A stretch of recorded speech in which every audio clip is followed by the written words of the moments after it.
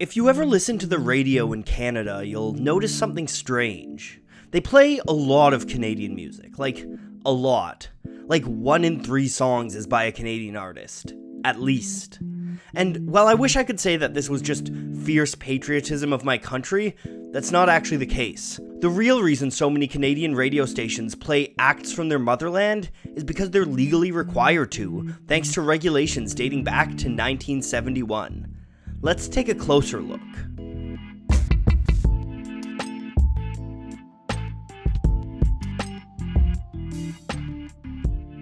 The 1960s were an exciting time for radio. Rock and roll was in the middle of a golden age, and FM broadcasting was starting to get a foot in the mainstream. At the same time, portable radios were getting better in quality, and more and more young people were buying cars. And of course, this explosion was happening in Canada too. But the music that young Canadians were blaring through their radios wasn't from their home country. Instead, Canadian radio stations focused mostly on the music scenes in the US and Great Britain. That was great for the listeners because there was a lot of incredible music coming out of those scenes, but it wasn't quite as great for Canadian bands. In the mid 60s, acts like Gordon Lightfoot and the Guess Who were finding some success on the Canadian charts, but as we got deeper into the decade, we saw much less Canadian music. Only a few Canadian acts were really having success, and even those that were were doing so in the States. Neil Young was working with Buffalo Springfield, who were based out of Los Angeles and made up of mostly Americans. Another Los Angeles band, Steppenwolf, had some better Canadian representation, with three out of five members being Canadian. But in 1968, Steppenwolf were the only Canadian band to top the Canadian charts, though they did it twice with Born to Be Wild and Magic Carpet Ride.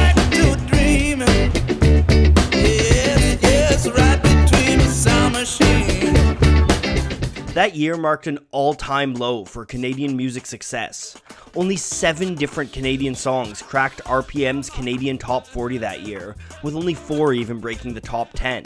Even more worrying was the fact that those seven songs were put out by just four different artists Steppenwolf, the Irish Rovers, Andy Kim, and the Stampeders it was quickly becoming clear that Canadian radio just wasn't interested in playing Canadian songs, which was posing a threat to the country's music industry as a whole. However, the same year that local chart success bottomed out, the Canadian government created the Canadian Radio, Television, and Telecommunications Commission, better known as the CRTC.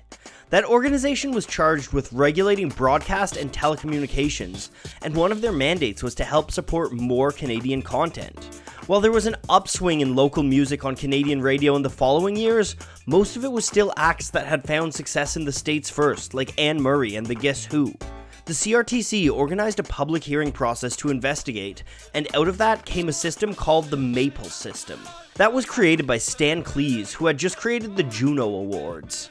And a quick aside for those of you who aren't Canadian, the Juno Awards are basically the Canadian Grammys, kind of. The MAPL system was a way of qualifying what counted as Canadian content. It consisted of four aspects music, the music was composed entirely by a Canadian.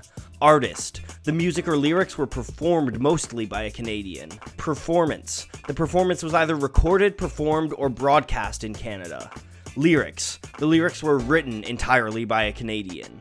In order to qualify as Canadian content, a piece needed to fulfill two of these conditions, or just one if it was recorded before January 1972.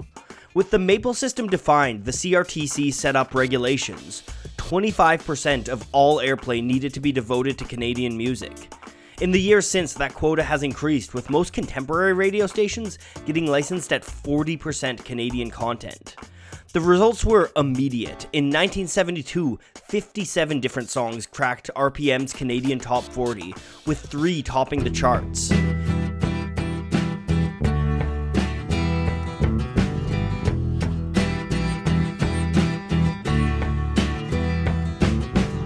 Even more promising, the 70s saw the growth of Canadian content based out of Canada. Bands like April Wine, Max Webster, and Trooper all found success on the Canadian airwaves throughout the 1970s. These regulations weren't without controversy, of course. Many people thought it was out of line for the government to step in and tell people what they should and shouldn't be listening to.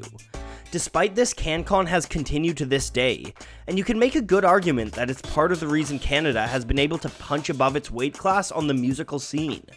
The 1980s saw Bryan Adams become an international rock star, while the 90s created megastars out of Canadians like Shania Twain, Celine Dion, and Alanis Morissette. And even today, Canadian music is bigger than ever. Names like Drake, The Weeknd, and Justin Bieber have consistently topped charts throughout the last decade.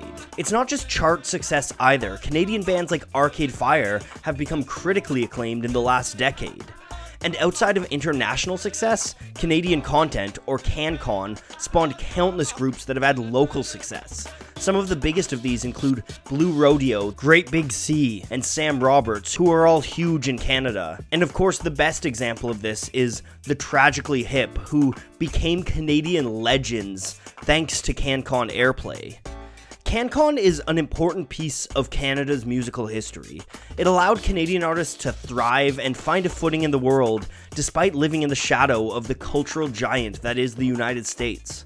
Love it or hate it, CanCon did its job, and personally, I think Canada and the entire music world are better for it.